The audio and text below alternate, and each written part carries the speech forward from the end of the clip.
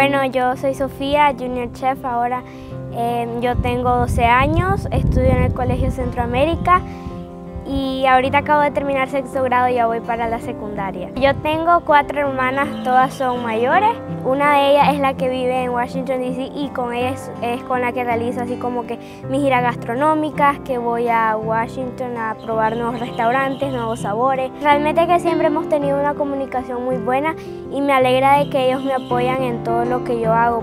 Esta dulce niña a tan corta edad se ha convertido en Junior Chef, destacándose por su gran arte culinario toda mi vida he cocinado y no es como que en un momento que me di cuenta, simplemente siempre me ha gustado desde, básicamente desde que nací, porque por ejemplo desde la panza vengo escuchando corte a la juliana, corte al chifón, un salteado. A ella le encanta leer y es de esta manera autodidacta que ha aprendido a cocinar.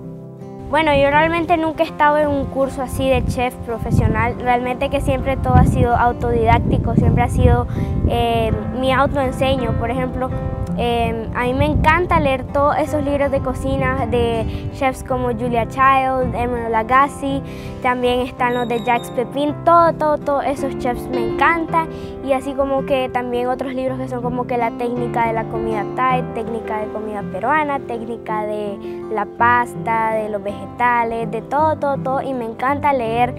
Sofía comparte esta pasión por la cocina con su mamá. Ellas disfrutan pasar tiempo juntas. Principalmente si no estoy cocinando estoy bailando y si no estoy bailando estoy cocinando. Pero pues yo también me divierto, como ya te dije, leyendo. Por ejemplo, hace poco terminé de leer la saga de los Juegos del Hambre, estoy terminando de leer Bajo la misma estrella, que es uno de mis libros favoritos. Yo siempre he pensado que cuando uno quiere hacer algo, eh, siempre hay tiempo. Para mí eso de que no tengo tiempo es simplemente una excusa de no, no querer hacer algo o que no tenés la pasión por hacerlo. Yo, yo hago el tiempo para mi trabajo, para Sofía y todo, todo lo que requiere para apoyarla. Hola chicos, es Sofía de Finesta Kids. El día de hoy les traigo una receta súper deliciosa.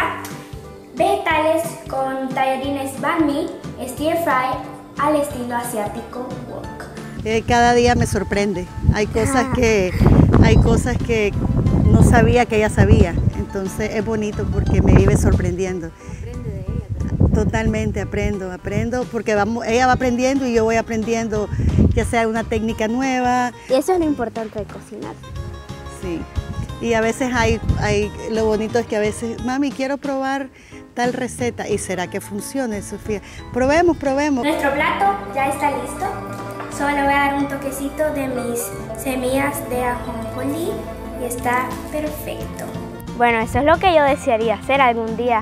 Aunque ahorita estoy avanzando bastante, pues algún día me encantaría llegar a conocer todas las técnicas y pues lograr ser una chef, una chef. Pero a la vez me gustaría llegar a ser una balletista. Así que en consideración podría ser la chef bailarina.